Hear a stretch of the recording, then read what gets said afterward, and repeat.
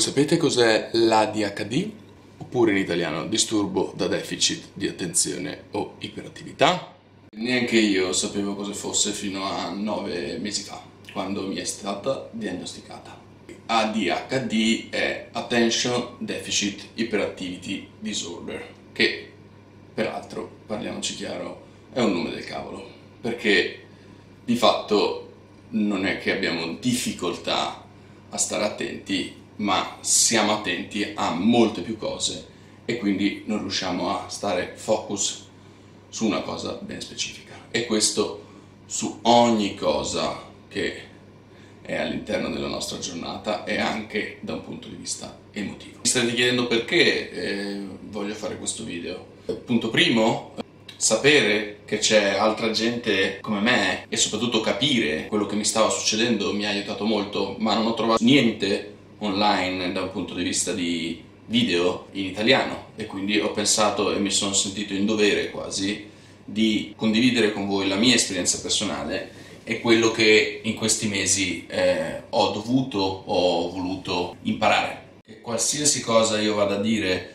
non sono un medico, non sono laureato in psicologia, sono solo un normalissimo ragazzo che ha migliorato e sta cercando di migliorare la sua vita eh, avendo una consapevolezza diversa rispetto a ADHD che sì è molto faticoso, sì è particolare vivere all'interno della nostra testa, eh, ma anche molti aspetti positivi e molti aspetti eh, divertenti. Probabilmente sono eh, i meno divertenti, quelli, quelli maggiori, ma in realtà si può capovolgere la macchina a nostro favore, o almeno quello è quello che sto cercando di fare io, è quello che sto cercando di imparare e quello che vorrei cercare di comunicare qui.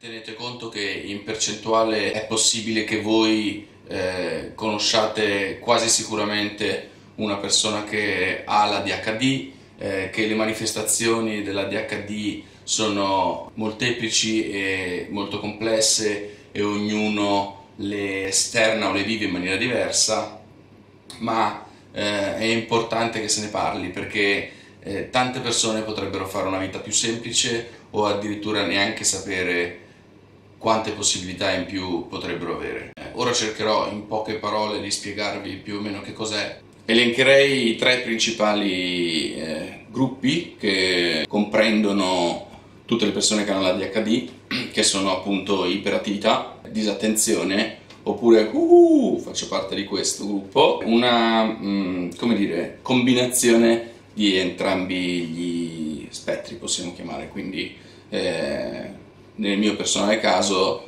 eh, mi viene a volte difficile eh, stare focus sulle cose e eh, mi viene difficile per esempio eh, stare in fila piuttosto che stare seduto a lungo durante una riunione soprattutto se non mi interessa moltissimo e eh, divento più spesso eh, irrascibile anche se ovviamente poi uno quando cresce riesce a lavorare su queste cose ma questo non vuol dire che se non si vede eh, non lo si provi quindi certo eh, riesco a gestire le mie emozioni in maniera molto più matura, ma di fatto le continuo a provare. Questo mi provoca ovviamente eh, un po' di fatica. Come queste cose influiscono nella vita?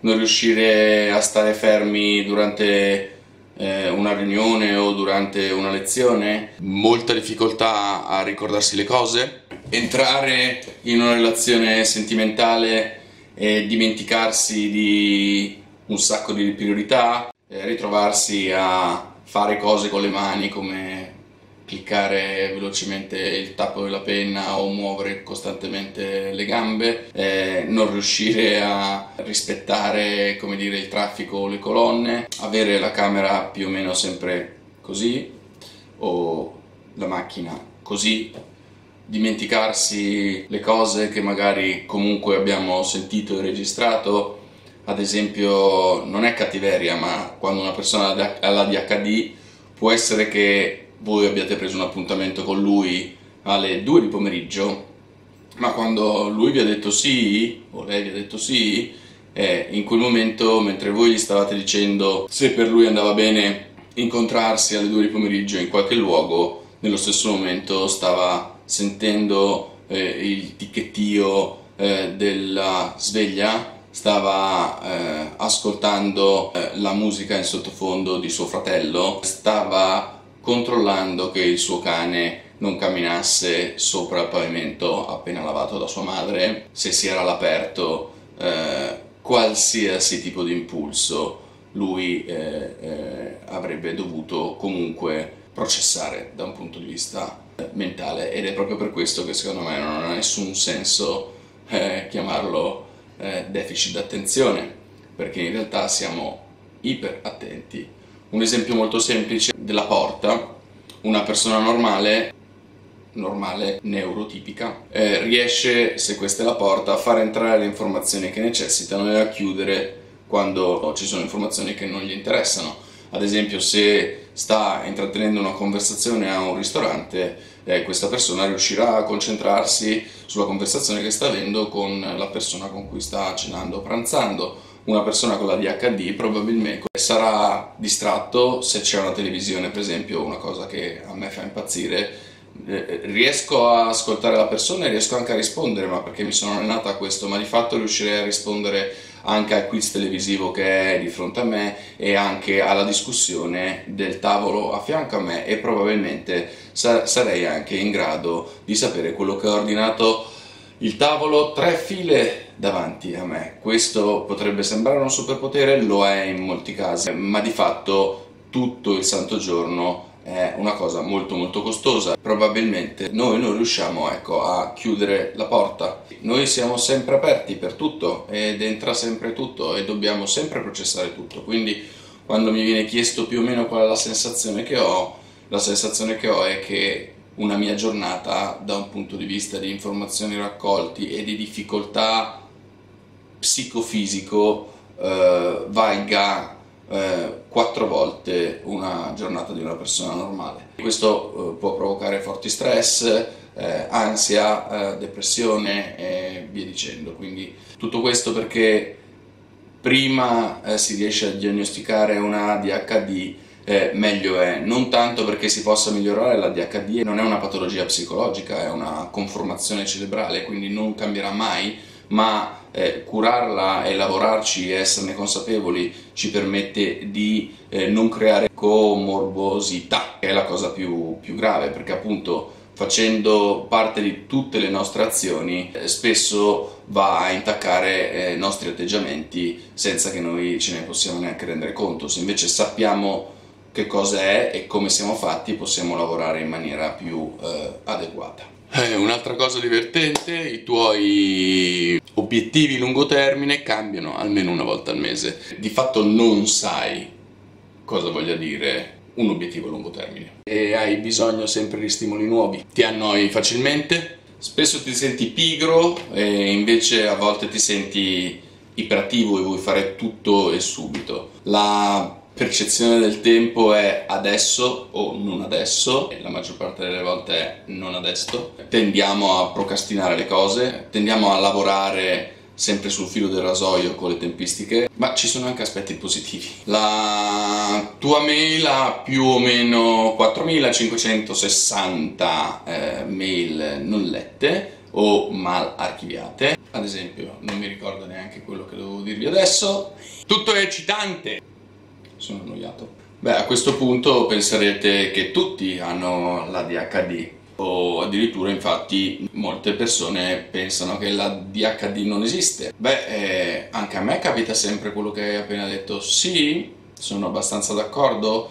Il problema è sempre relativizzare quello che stiamo dicendo, nel senso che sono tutte cose che possono accadere a qualunque persona e il problema è che chi ha la DHD convive con questa cosa costantemente tutti i giorni, ogni ora della sua giornata. Per avere una diagnosi della DHD deve avere 5 o 6 dei sintomi elencati nel, nel DSM-5 eh, che comunque eh, comportino all'interno della tua quotidianità eh, determinate problematiche, diciamo. Se alcune di queste cose di cui abbiamo parlato oggi eh, ti sembrano familiari o pensi di avere l'ADHD, ecco 5 cose che, che devi sapere. Uno, non è colpa tua. Non sei tu che le fai accadere e non sono difetti caratteriali. Sono il risultato eh, di come il tuo cervello è strutturato.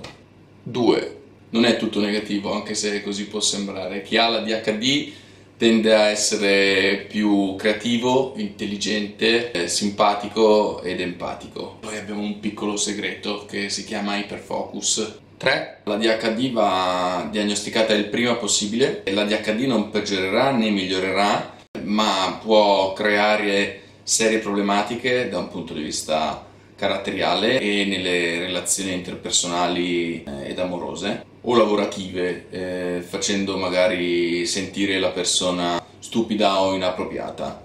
Anche se il buon vecchio Albert eh, disse che non si può giudicare un pesce da come eh, si arrampica sugli alberi, aggiungo eh, a non sapere quanto lontano avrebbe potuto andare. Un piccolo segreto. Pare che Einstein avesse la DHD come peraltro molte altre persone che hanno cambiato le regole del, del gioco, proprio perché chi ha la DHD spesso non, non pensa fuori dalla scatola o fuori dal, dal recinto o fuori dalle regole, non sa neanche dove sono né le scatole né i recinti né le regole. 4. Non sono un dottore. 5. Non sono un dottore non posso diagnosticarvi la DHD né potete farlo da soli. Ma se sentite di avere la DHD o se andando avanti nella ricerca capirete o scoprirete di averla, nessun problema. Non siete sbagliati e non siete soprattutto da soli. Benvenuti nel gruppo.